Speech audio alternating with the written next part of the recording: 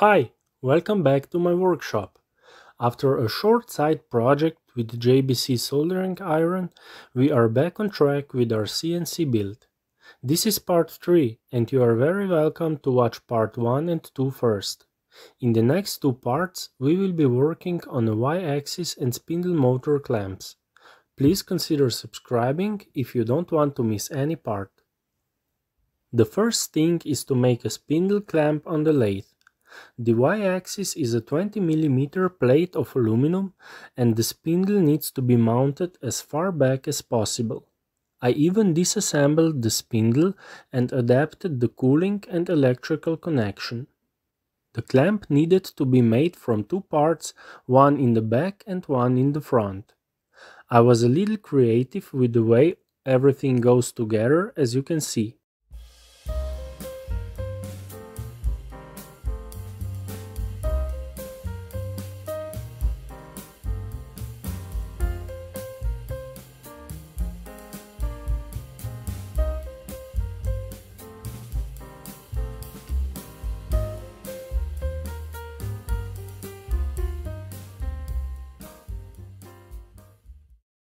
I started machining by cutting and turning a bar of aluminum.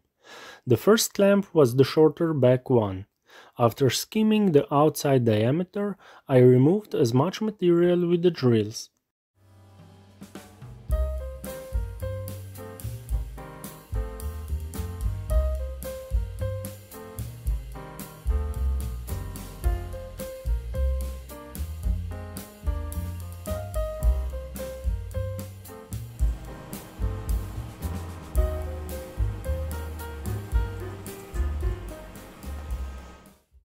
Then I finish bored the internal diameter to 65 mm for the spindle.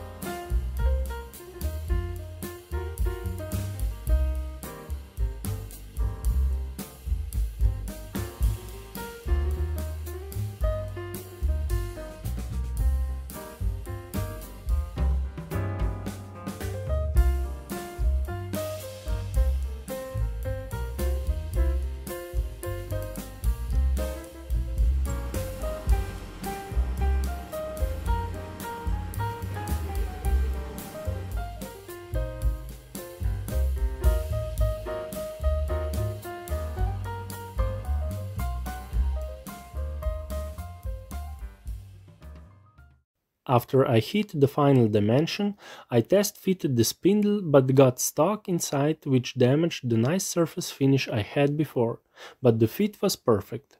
The outside diameter of the smaller clamp was as big as possible for rigidity. There was one important thing I had to be aware of during the machining. When I finished the bore, I lightly surfaced the front part of the clamp to get the perfect 90 degree when mounting it. I kept it as a reference surface for bolting and further machining the bolt pattern on that side.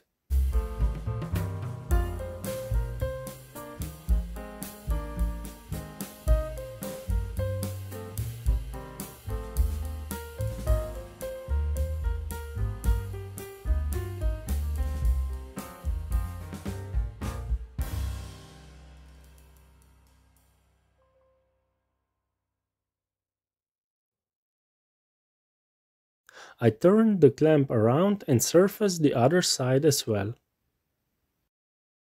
I repeated the process with the front clamp as well.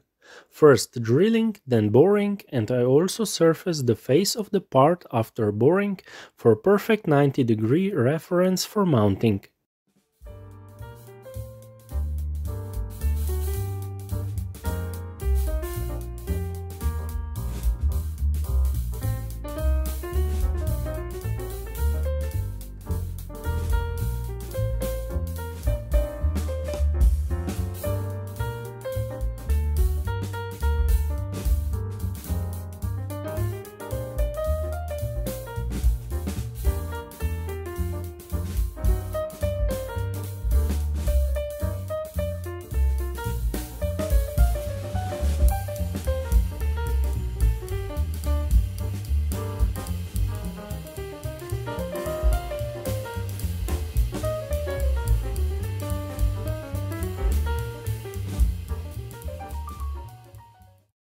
I then turned the part around and finished the outside diameter as well.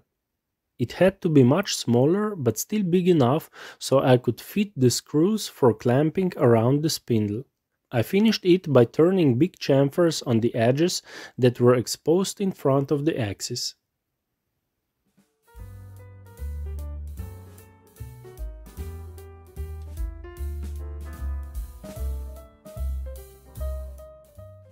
I then clamped the back clamp in the vise of the mill and milled the counterbores for the screws with the end mill.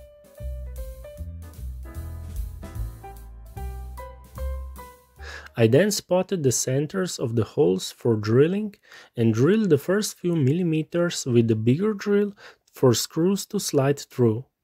The clamp had to be slit with the saw, so the screws had to fit through the first part, and then the hole needed to be tapped for M6 to accept the screws. So I used the smaller drill to break through the clamp. I finished with slitting the whole clamp with a very nice slitting saw. I used the cutting oil for better cutting.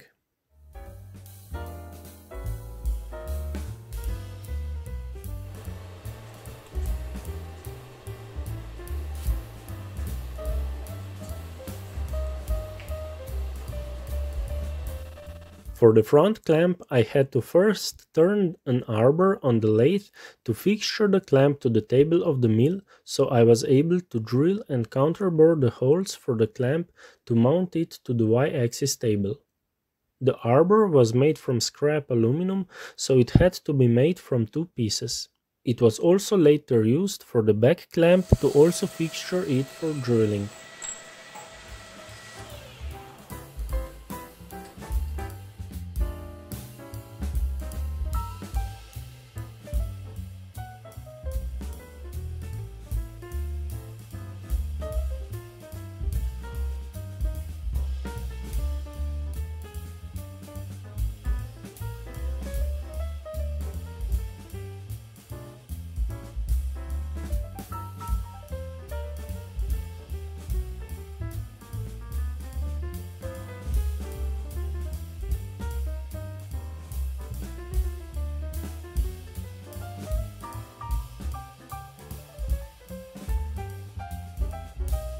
I luckily had big enough end mill for the counterbores, but it was a bit worn out one. It was missing two flutes, but still managed to cut all the way down. I used the DRO for positioning around with the zero position set in the middle of the circle. I set the zero with the help of the edge finder.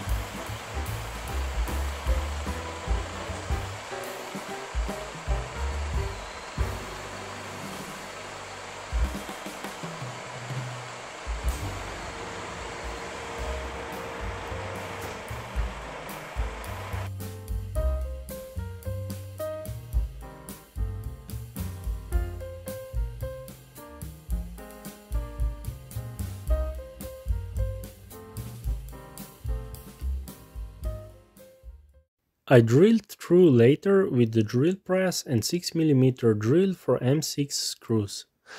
For the back clamp I only used the spotting drill to precisely locate the holes and then drill them with 5mm drill and tap them for M6.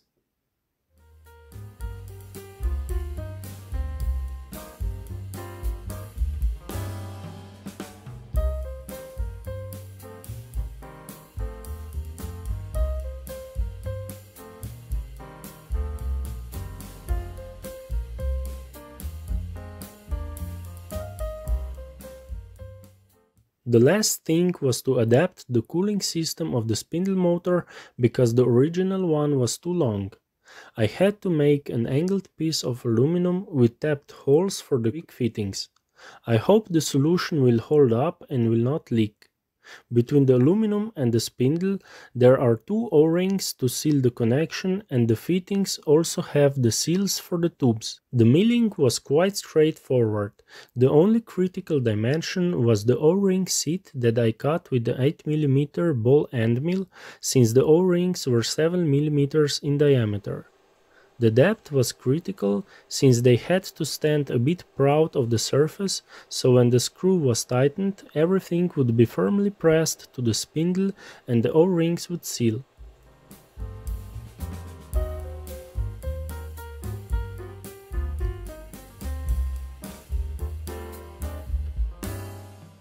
The last thing was to machine the radius for the proper fit to the spindle. I did that with the boring head, but had to use the old carbide 6mm end mill because I could not find the shorter boring bar. In the next part, we will finish the Y-axis assembly and mount everything we machined to the CNC. Stay tuned for that and please like, share and subscribe. Thank you for watching and see you in the next one.